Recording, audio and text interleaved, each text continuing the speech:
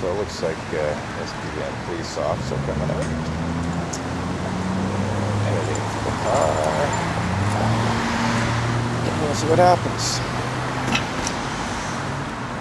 Just, uh, just explode a little bit.